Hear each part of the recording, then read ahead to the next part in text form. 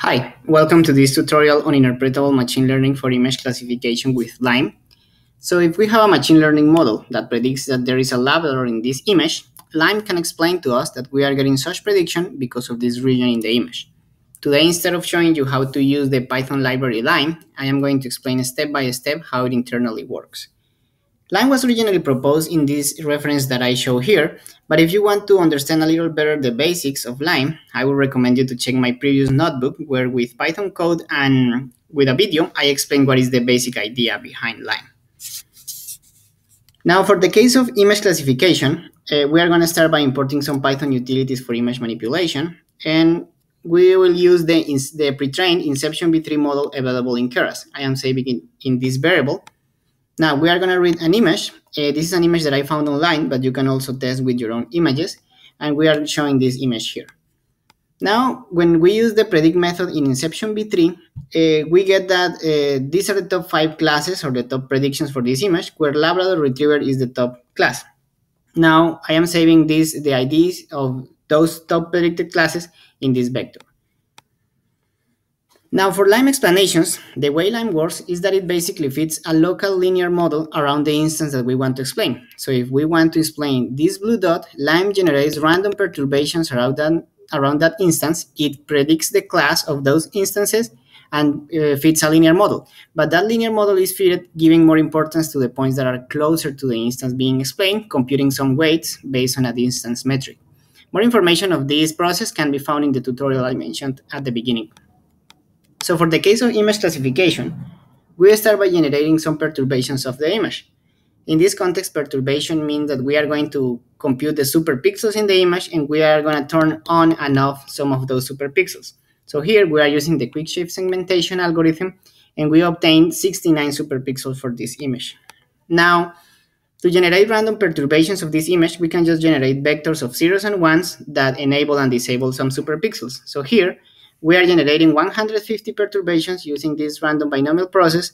And uh, these perturbations, one of these perturbation vectors basically looks like this, where each position represents one superpixels and the status. Now, when we call the, when we create this perturb image, the idea is to call this function to pass a perturbation and return or obtain an image like this one. So here we are just in, uh, turning off some of the superpixels based on the perturbation vector. Now, uh, at the end of the day, it's like we are generating 150 of these perturbed images. Now, we use the machine learning classifier to predict what are the classes of these images. In this case, we call the inception v3 method for each one of the perturbations, and then we call we get some predictions. These predictions is like 100, the predictions for the 150 perturbed images, and 1000 represents the probability of belonging to each one of the 1000 classes in inception v3. Now we have two things we have the perturbations that I showed here, and we have the predictions. So we can use this uh, to predict a linear model, but before we do that, it will be better to give more importance to the perturbed images that are more similar or closer to our original image. So our original image is just a perturbation with all the superpixels in one. So here basically we are measure measuring the distance between the perturbations and the original image using a cosine metric distance, which just measures the angle between these arrays. Now we have 150 distances, one for each perturbation. We translate these distances to a value between 0 and 1 using a kernel function. Here, we pass a distance to a kernel function and it maps that value to a number between 0 and 1. So this is what I am doing here. I pass the distances to a kernel function and we get what we call the weight, this one weight for each perturbed image.